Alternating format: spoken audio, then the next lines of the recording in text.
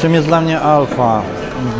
Pogłębieniem, uświadomieniem sobie tego, co, co Pan Jezus zrobił dla mnie, co, czym jest wiara w życiu człowieka.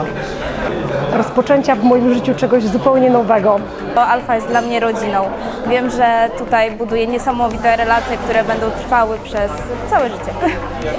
Nie wiedziałam czego się spodziewać, ale bardzo się cieszę, że przyszłam, że poznałam tych wszystkich ludzi, których poznałam.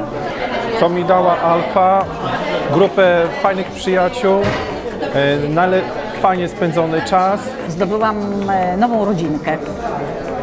Czuję, że, że Bóg działa z każdej strony wokół mnie. Na małych grupach, na dyskusjach podczas Alfy dowiedziałem się wielu rzeczy, które wydawało mi się, że wiedziałem wcześniej. E, dużo odpowiedzi na pytania, które wydawało mi się, że znałem na nie odpowiedzi. E, mega polecam każdemu, temu kto wierzy w Boga, tego kto go nie zna, e, wszystkim. Atmosfera wolności, przyjaźni i szacunku. Polecam Alfę.